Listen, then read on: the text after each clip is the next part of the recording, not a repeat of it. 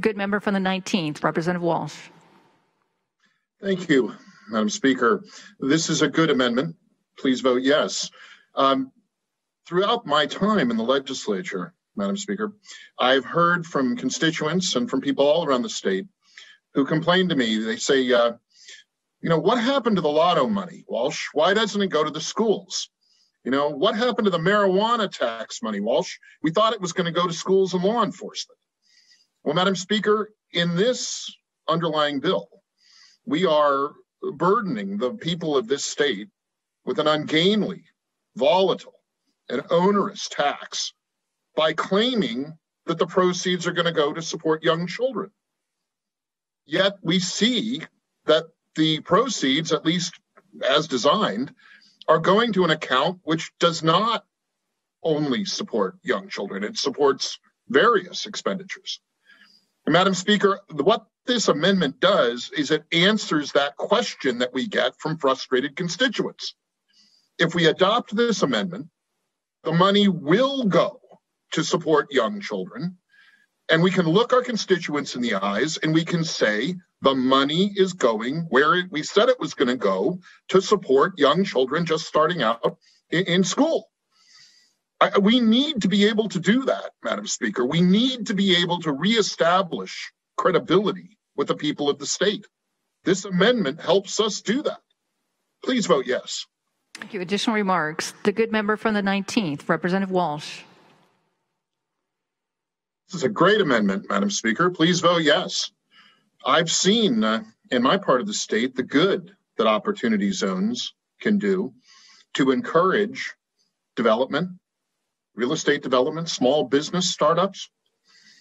It's the best kind of tax policy, Madam Speaker. It directs private capital in constructive and creative ways. You know, it's much better for a person looking for daycare to get a good job that pays well in order to acquire the daycare that he or she needs, rather than having to rely on a state program to provide that daycare. Let's grow the pie, Madam Speaker.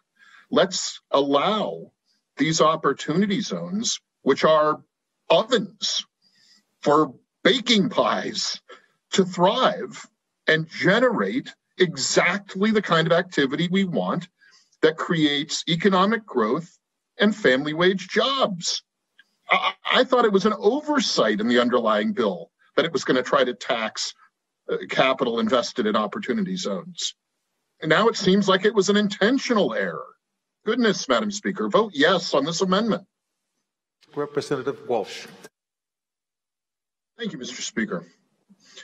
This is a good and essential amendment. Please vote yes on it. The great risk, Mr. Speaker, of the underlying bill is that it will break trust with the people of Washington. It will break, break trust by changing the rules for those who have been saving for their retirement for decades. It will break trust of those who are married and will have to face a larger potential tax liability because of the underlying bill. It will break trust with the people of Washington who have voted and stated time and time again that they oppose this volatile form of taxation.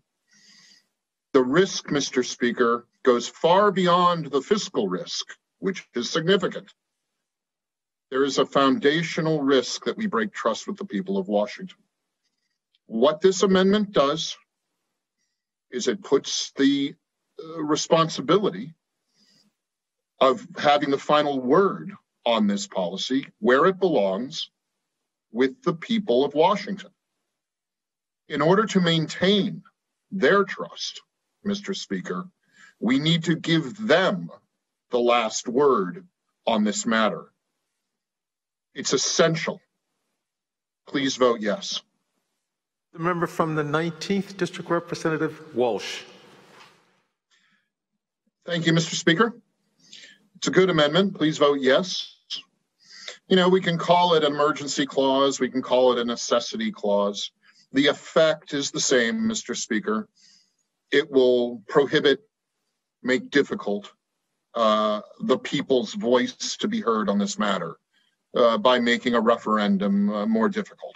So the effect is the same. The, the quibbling over what, uh, what, what it is is not important. Uh, what is important, Mr. Speaker, is that the people are heard on this underlying policy.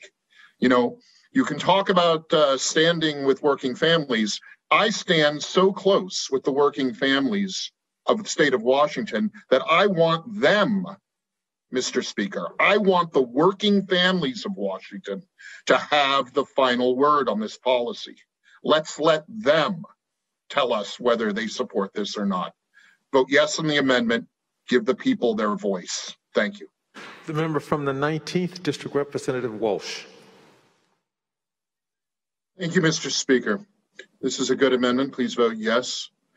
Keep in mind, Mr. Speaker, the fatal conceit. Frederick Hayek's great work that looked from an economist's perspective at the assumption that a central planner, that a state government, that a government can more efficiently identify needs and allocate resources to those needs than individual people can. The fatal conceit, Mr. Speaker. Let's not give in to that. It makes for inefficiency and sloppiness in how we deal with tax revenues. This amendment helps a little bit.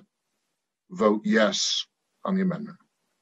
The good member from the 19th District, Representative Walsh. Thank you, Madam Speaker. Uh, please vote no on this capital gains income tax.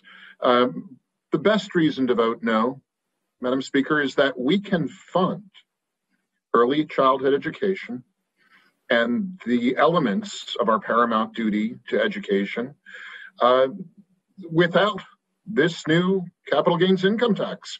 We can fund them from existing tax revenues to the state. And there are other reasons to vote no, Madam Speaker. Um, as you know, uh, Article 7 of our state's constitution is the part that talks about taxes in the state of Washington. And right at the start of Article 7, right at the beginning of Section 1, the Constitution says that all taxes shall be uniform upon the same class of property. All taxes shall be uniform on the same class of property.